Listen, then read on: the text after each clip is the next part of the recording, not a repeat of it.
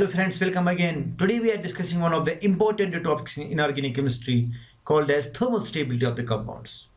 In this video, I am explaining you how to compare the thermal stability of the different compounds, whether they are ionic or they are covalent. So let's start. Thermal stability of the compounds. So what we mean by thermal stability of the compounds? Compounds which does not dissociate easily upon the application of the heat are said to be thermally stable. यानी कि ऐसे compounds जिनको हम heat देते हैं और heat देने के बाद वो कंपाउंड डिकम्पोज नहीं होते। हम कह सकते हैं कि उन कंपाउंड्स की थर्मल स्टेबिलिटी ज़्यादा है। मीन्स जिन कंपाउंड्स को ज़्यादा हीट लगेगी डिकम्पोज करने के लिए मीन्स इनकी थर्मल स्टेबिलिटी ज़्यादा है। और यहाँ पे थर्मल स्टेबिलिटी और मेल्टिंग जो है these are two different parameters melting में आपका कंपाउंड डिकम्पोज नहीं होता है। So now let's discuss trends in thermal stability of the compounds trends in thermal stability of the compounds can be studied under two headings हम thermal stability दो headings के under study करेंगे। पहले हम पढ़ेंगे वो कंपाउंड जो कोवलेंट होते हैं, या वो आयनिक कंपाउंड्स जिनमें मोनो एटॉमिक एनायन है, यानी कि एक ही एटम होगा एनायन और इसके बाद हम डिस्कस करेंगे compounds with poly atomic anions so first category is covalent compounds और compounds with mono atomic anions वो कंपाउंड जिनमें एनायन एक एटम का बना होगा such as hydride halide oxide nitride sulphide etcetera ऐसे कंपाउंड्स में क्या होता है? Thermal stability is directly proportional to lattice energy यानी कि जिस कंपाउंड की लेटिस एनर्जी ज़्यादा होती है, उस कंपाउंड की थर्मल स्टेबिलिटी भी ज़्यादा होगी। फॉर एग्ज़ाम्पल मैंने यहाँ पे लिखा thermal stability is directly proportional to lattice energy अब lattice energy is directly proportional to q one q two upon r square यानी कि जितना चार्जेस का मैग्नीट्यूड ज़्यादा होगा, उतनी लेटिस एनर्जी ज़्यादा होगी। और जितने आयन्स के बीच में डिस्टेंस ज़्यादा होगी, उतनी लेट से एनर्जी क्या होगी? कम because lattice energy is inversely related with distance square of distance और क्यू वन क्यू टू क्या है? These are the charges and r is the distance between the two centres आपसे क्वेश्चन पूछा जाता है write down the thermal stability order of the following compounds ठीक? तो sodium fluoride sodium chloride sodium bromide and sodium iodide ये जो compounds आपको दिए गए ये सारी के सारी कंपाउंड्स आयनिक हैं। अब हमने क्या देखा है? इन कंपाउंड्स में जो आपका एनाइन है iodide bromide chloride and fluoride it is made up of one atom तो हम कह सकते हैं ये मोनो एटॉमिक एनायन है। अब जब आपका कंपाउंड जो है, इसमें एनाइन होगा मोनो एटॉमिक एनाइन उस टाइम पे आपकी थर्मल स्टेबिलिटी किस पे डिपेंड करती है? लाइट से एनर्जी यानी कि जिसकी लाइट से एनर्जी ज़्यादा है, वही ज़्यादा स्टेबल है। अब मान लीजिए आपको इनकी लाइट से एनर्जी कंपेयर करनी है।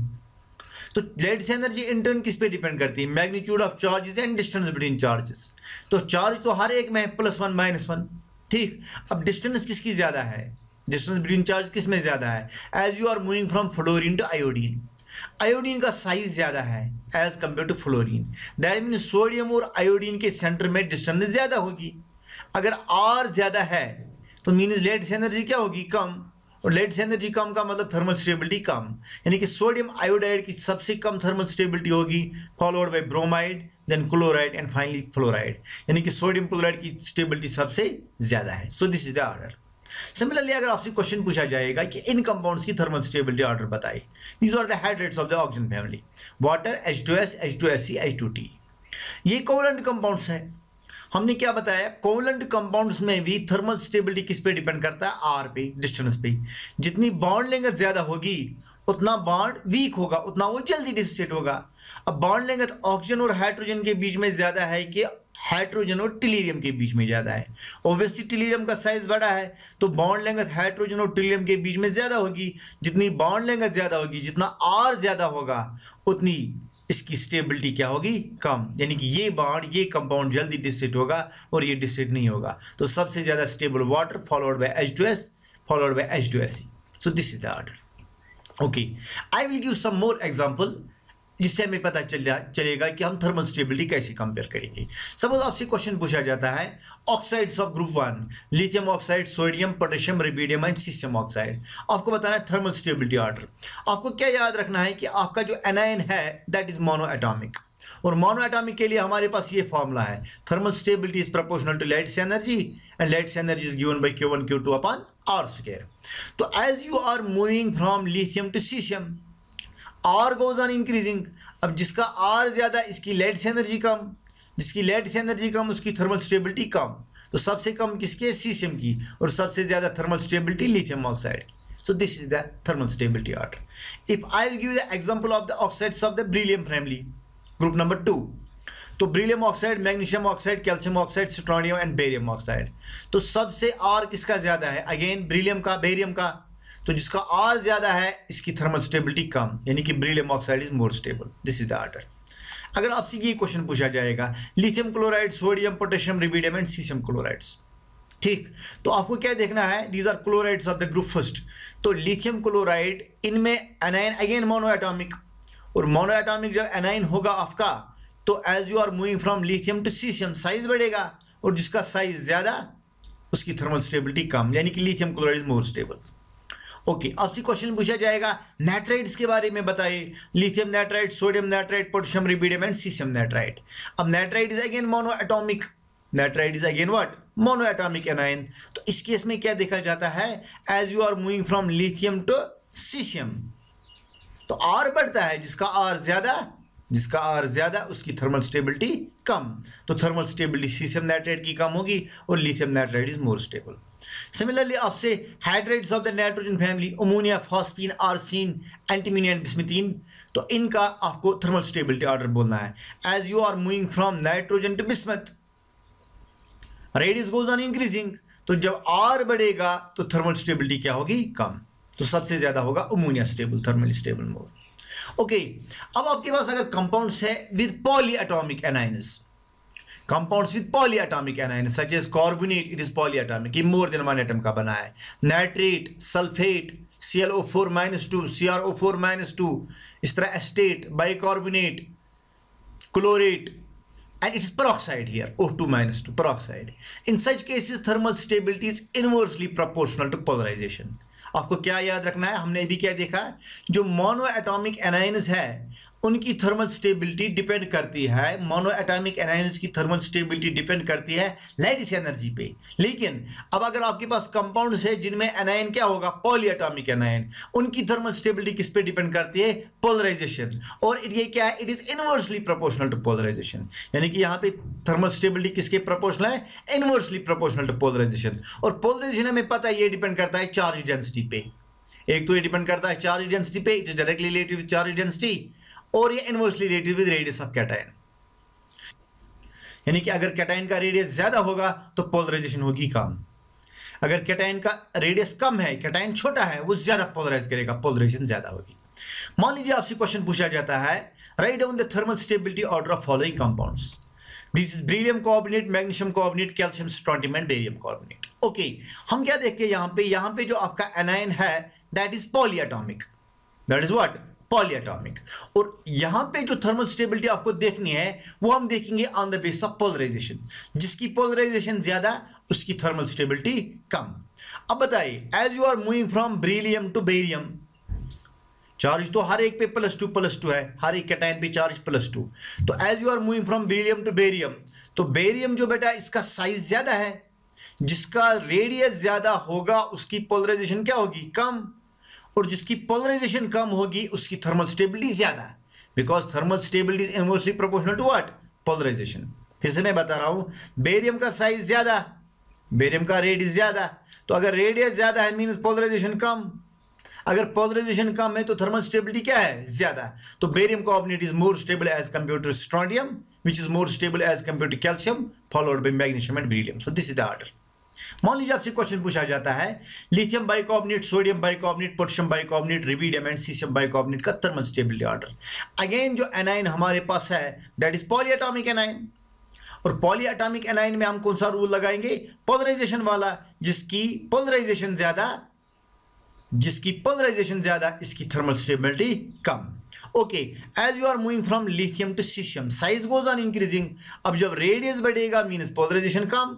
पोलराइजेशन कम मीन्स थर्मल स्टेबिलिटी ज़्यादा है। यानी कि caesium bicarbonate is more stable as compare to rubidium this is the order okay let suppose आपसे इन कंपाउंड्स का थर्मल स्टेबिलिटी ऑर्डर पूछा जाता है। Lithium nitrate sodium nitrate potassium nitrate rubidium nitrate and caesium nitrate so thermal stability compare करने के लिए हमें क्या देखना है? We have to look whether our anion is mono atomic और पॉलीएटॉमिक इन दिस केस हमारे पास जो एनाइन है दैट इज़ पॉली एटॉमिक तो पॉली एटॉमिक एनायन जब होगा, उस टाइम पे थर्मोस्टेबिलिटी जो है that depends upon polarization that is inversely proportional to what polarization तो पॉली एटॉमिक केस में क्या है?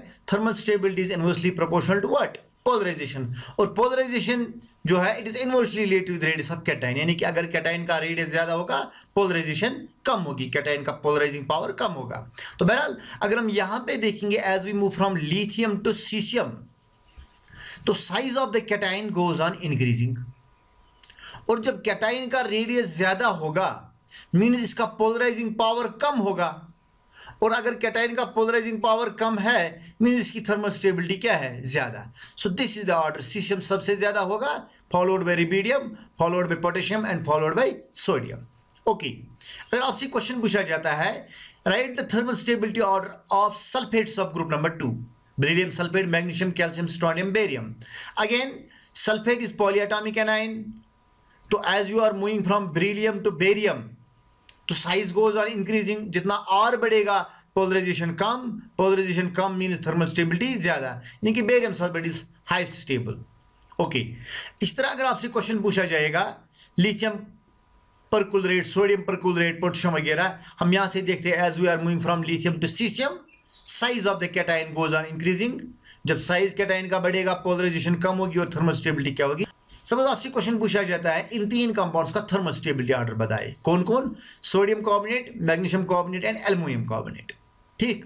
तो हम क्या देखते हैं? यहाँ पे एनायन जो हमारा है दैट इज़ पॉलीएटॉमिक एनायन दो कैटाइन बिलोंग्स टू डिफरेंट दो cation belongs to what different groups लेकिन जो एनाइन हमारा है that is what polyatomic anion और पॉलीएटॉमिक के केस में क्या होता है?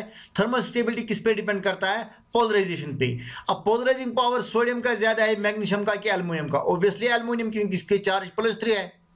तो अगर एल्युमिनियम का पोलराइजिंग पावर ज़्यादा है, जिसका पोलराइजिंग पावर ज़्यादा होगा, उसकी थर्मल स्टेबिलिटी क्या होगी? कम. सो इसकी थर्मल स्टेबिलिटी कम है। तो सबसे ज़्यादा स्टेबल कौन है? Sodium carbonate this is the order similarly आपसे क्वेश्चन पूछा जाता है sodium oxide, magnesium oxide, aluminium oxide. देखिए, आपको खाली एक बात का ख्याल रखना है एनाइन इज़ मोनोएटॉमिक और पॉलीएटॉमिक यहाँ पे एनाइन आपका कौन सा है? दैट इज़ मोनोएटॉमिक और मोनोएटॉमिक के केस में आप पोलराइजेशन पे नहीं जाएँगे, बल्कि आप किस पे जाएँगे लाइटिस एनर्जी अब लाइटिस एनर्जी जो है that is also proportional to Q one Q two by R square अब मुझे बताइए चार्ज किसकी ज़्यादा है? चार्ज तो एल्यूमिनियम की ज़्यादा है। अगर एल्यूमिनियम की चार्ज ज़्यादा मीन लाइटिस एनर्जी इसी की ज़्यादा, जिसकी लाइटिस एनर्जी ज़्यादा, उसी की थर्मल स्टेबिलिटी तो सबसे ज़्यादा स्टेबल कौन है? Aluminium oxide and magnesium and sodium okay अगर आपसे थर्मल स्टेबिलिटी ऑर्डर पूछा जाता है परोक्साइड्स का लिथियम परोक्साइड सोडियम परोक्साइड और potassium peroxide you have to compare the thermal stability order okay यहाँ पे जो आपका एनाइन है दैट एनाइन इज़ पॉलीएटॉमिक और पॉलीएटॉमिक के केस में थर्मल स्टेबिलिटी जो है thermal stability depends upon polarisation okay polarisation power lithium sodium या पोटेशियम सबसे ज़्यादा किसका है? लिथियम का, जिसका पोलराइजेशन पावर ज़्यादा है, उसकी थर्मल स्टेबिलिटी क्या है? कम। सो दैट मीन सबसे ज़्यादा स्टेबल कौन होगा?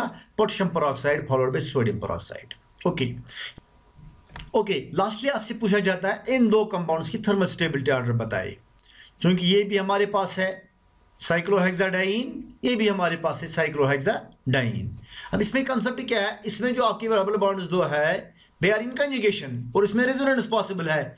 इसमें रेजोनेंस पॉसिबल नहीं है। These are not in conjugation with one and अंदर as result stability thermal stability of this compound is more as compare to this so thermal stability of this this thank you very much.